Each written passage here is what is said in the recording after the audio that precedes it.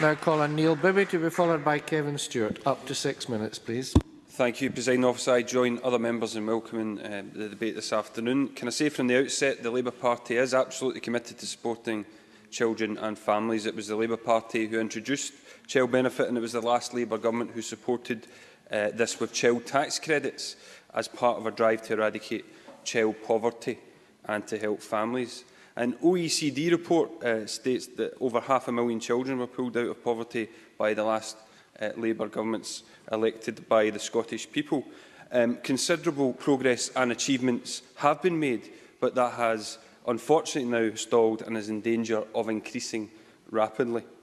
As Drew Smith said, child benefit has been uh, paid universally because as a society we all have a responsibility towards all the nation's children. The coalition government's changes to the system are wrong, and I agree uh, with Nicola Sturgeon on that. Let me be clear, Labour doesn't support cutting child benefit, and we certainly don't support um, it at the same time as the Conservatives and Liberal Democrats are cut, not at the moment, are giving tax cuts for millionaires and tax cuts for big businesses.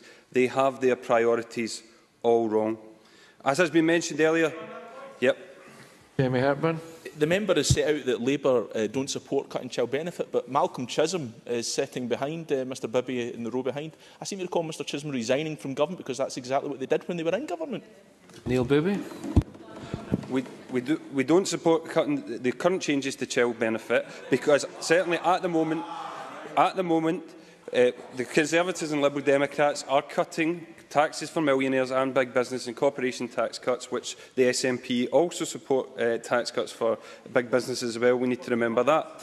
Um, as has been mentioned already, the coalition's government's changes mean nearly 100,000 families in Scotland are set to lose a reported average of 1,200 in child benefit this year, with a majority of those losing their child benefit already. This will have serious repercussions on the levels of child poverty. And looking ahead, the Institute for Fiscal Studies, uh, uh, who were regularly quoted by the Conservatives in opposition, has said that thousands more households will lose the benefit over the next years because the threshold for receiving it will remain fixed and not take into account wage inflation. There are serious failings in this policy, including the administrative comp complexities that uh, Drew Smith said earlier. As I said before, I agree with Nicola Sturgeon that these policies are wrong, but I think it's important to focus this afternoon on what we can do to support families in Scotland and throughout the UK. Presiding officer, we all know we need an economic recovery. We need to support parents back to work and we need to make work pay. How can we encourage parents back to work if they are paid £6 an hour at the same time as they are paying £5 an hour in childcare costs? This is not how you rebuild an economy and get people back to work. The cuts to tax credits and child benefit will certainly not help, but what is the Scottish Government doing to help parents with childcare?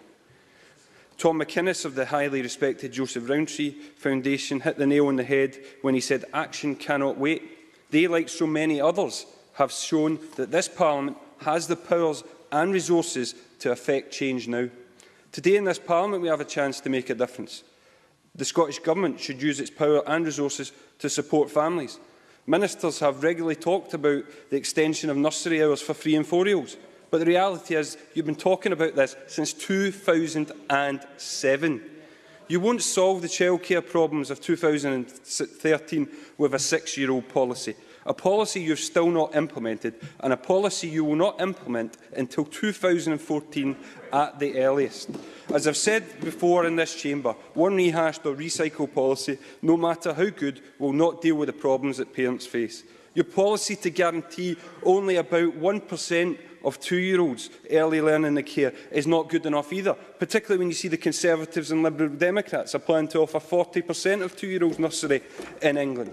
It is clear that the Scottish Government is not doing enough to help families with childcare. They try to speak the language of social justice but fall down when it comes to the crunch. They fail to act while on this side of the chamber we campaign to end the scourge of child poverty in Paisley and in Plymouth because it's not acceptable anywhere.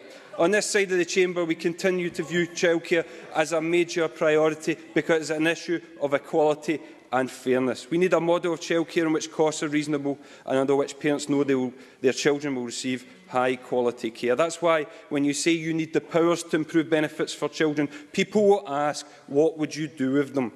Although I didn't agree with everything uh, Willie Rennie's speech, um, he did make an important point. SNP ministers would be careful to uh, promise billions of pounds of uh, benefits promises in an independent Scotland. People will rightly question whether this is simply a slick soundbite, when in actual fact you are not using the current powers and resources you already have and how you will increase benefits when you also support corporation tax cuts for big business. Rather than simply call for more powers, I hope the Minister will outline positive steps the Scottish Government will now take to give families and the support they need now. A starting point, President Officer, would be supporting Labour's call for investment in colleges and housing that could create jobs and opportunities to break the cycle of poverty. Because the reality is that progress was made on child poverty under Labour and is stalled under this government. You must Presiding conclude. officer, the Labour Party has consistently demonstrated our commitment to children and families in Scotland and across the UK. I hope other parties will show their commitment. Thank you.